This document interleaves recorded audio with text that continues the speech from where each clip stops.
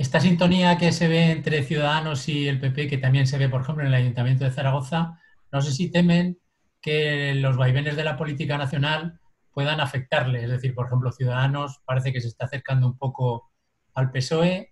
No sé qué valoración hacen los dos. Yo creo que, como hemos manifestado, aquí la coalición está funcionando muy bien.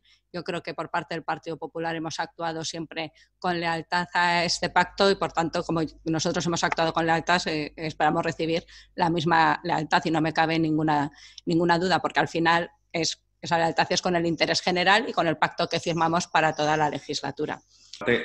En cuanto a la primera pregunta, bueno, pues eh, negar ese acercamiento al Partido Socialista. Nosotros eh, hemos eh, iniciado a nivel nacional unas negociaciones para llegar a unos acuerdos y dejar claro que eran unos acuerdos para votar sí a España y para votar sí a las medidas que interesaban a España y por el interés general.